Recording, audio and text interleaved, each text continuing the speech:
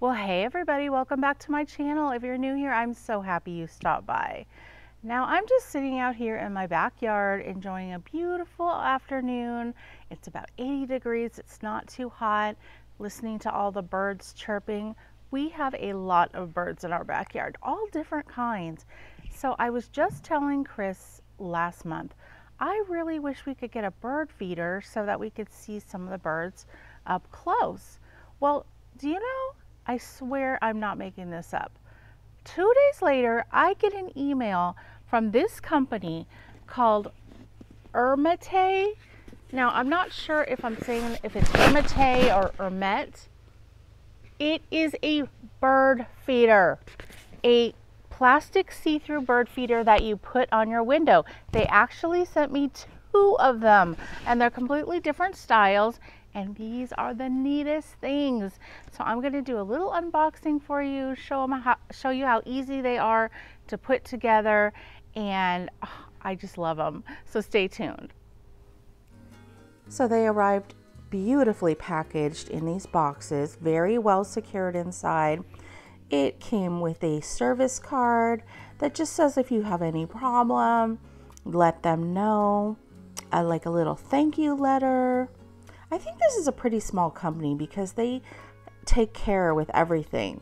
Now, they had this instruction booklet that was very easy to understand, not like some instruction books that don't make any sense. Like the, the steps were very clear, and then it tells you how to attract the birds.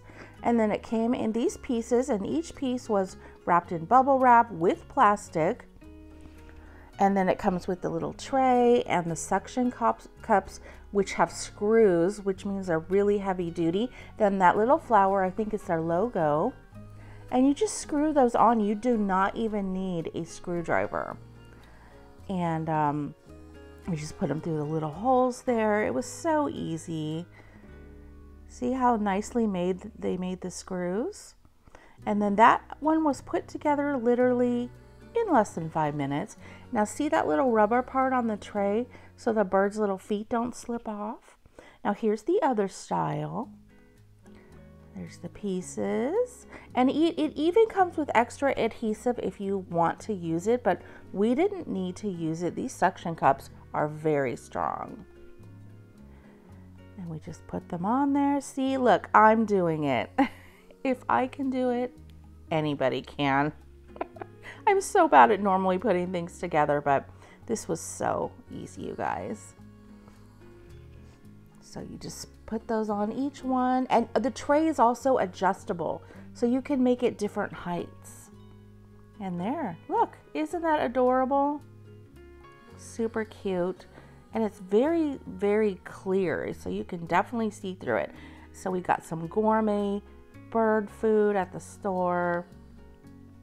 And here is Chris hanging it up. Now it also came with some little um, stickers. I think you saw a little uh, snippet of that. You can put little flower and butterfly stickers on there. It's supposed to attract the, uh, the birds, but I just liked it just plain.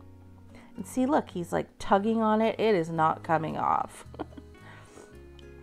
there he is from the inside. So we'll have a perfect view there it is. And then here I am hanging this one up all by myself. I hung it up, put the little tray in there. And then we just kind of put one on each window. These these are just so well made and I highly recommend them. They're very reasonably priced.